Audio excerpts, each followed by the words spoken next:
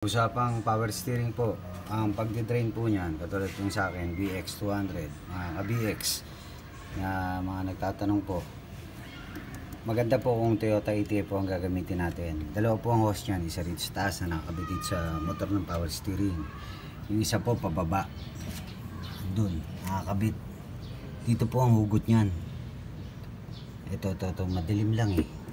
Ano nyo lang po ng clam yan. Luluwagan nyo yung clam tsaka yung plais.